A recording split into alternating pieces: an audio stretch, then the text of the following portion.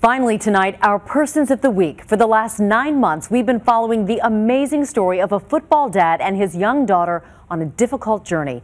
This week, they just learned some big news that will have you cheering for our Persons of the Week. I'm ready for today. You ready for today? You ready to get this cancer about you? It's now known as the Pep Talk, the video where we first meet little Leah Still and her father Devon. Let's do it. Fist bump. On their way to treatment for Leah's cancer, diagnosed last June, a six hour surgery, a tumor removed. Her dad documenting their journey the whole way. Tea parties with his daughter, and listen to what he tells her about her hair. You gonna be just like this, and we gonna look just like twins. Uh-uh. Uh-huh. One of the reasons why I decided to go public with the story was to give people an inside look of what it's like for a family to go through pediatric cancer um, we're just taking it a day at a time. Daddy, I want to play One day at a time.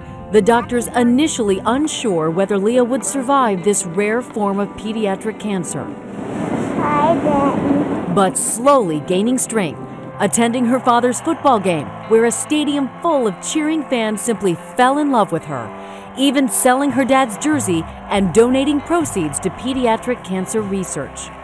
And tonight, nine months later, Devon Still has a message for all those people who have been following them. We got the news Tuesday night that the doctors didn't find any active disease in my daughter's body, which was very big for our family. I was so excited. I really didn't know what to post on Instagram. I didn't know what pose to do. The first thing that came to mind was just flexing for Leah Strong.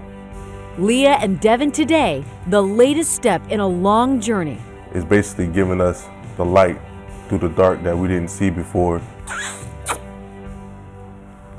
And keep flexing. So we choose Devon and Leah Still. Thank you so much for watching. David will be back on Monday, and for all of us here, good night.